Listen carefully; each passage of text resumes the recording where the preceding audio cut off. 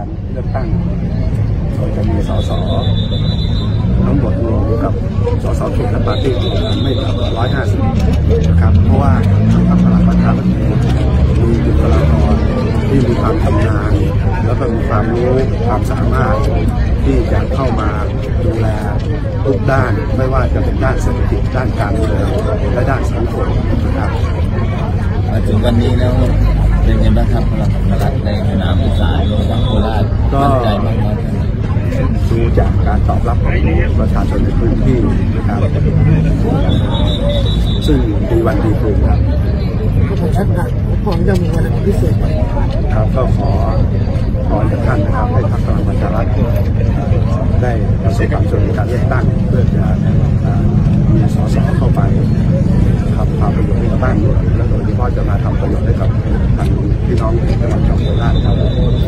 พลังประชารัฐเราจะมีนโยบายอะไรใหม่ๆ คือผมว่านโยบายอันดับแรกของเราก็คือจะต้องลดความเหลื่อมล้ำโดยเฉพาะต้องช่วยเหลือพี่น้องอที่ด้อยโอกาสนะครับ แล้วก็มีรายได้ไม่ดีจะต้องซึ่งตรงนี้เป็นพื้นฐานสำคัญของประชารัฐหลังจากนั้นเราก็จะต้องช่วยกันทำให้เศรษฐกิจดีขึ้นโดยเฉพาะเรื่องของการ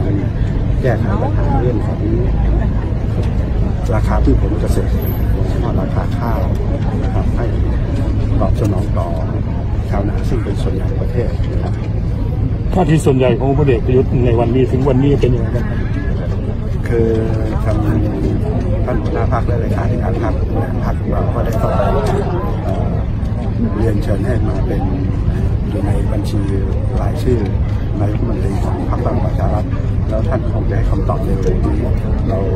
ก็ทุกคนก็คาดหวังว่าท่านจะตอบรับ อันนี้ไม่ได้เตรียมอย่างอื่นไม่ได้ไม่ได้ไม่ได้เตรียมคนอื่นไว้หรือเปล่าเอ่อ ไม่ได้เตรียมไว้นะครับคือมีชื่อเดียวในในขณะนี้เราเอ่อคิดว่าจะมีที่ชื่อเดียวนะครับถ้าเห็นบอกว่าเอ่อทางกกตบอกว่าคนที่ติดคดีจะไม่ให้ลงสมัครนะครับทั้งทั้งเขตทั้งทั้งระบบปฏิริษีในส่วนของดูแลภาคอีสานนี่ท่านกังวลเรื่องนี้ไหมครับอาจอาจจะมีแกนนำบางคนที่ที่ไม่ได้ลงคือผมเชื่อทั้งหมดก็ต้องว่ากันตามกฎหมายนะครับ ว่ากฎระเบียบเป็นอย่างไรเราต้องต้องต้องต้องทำตามระเบียบครับ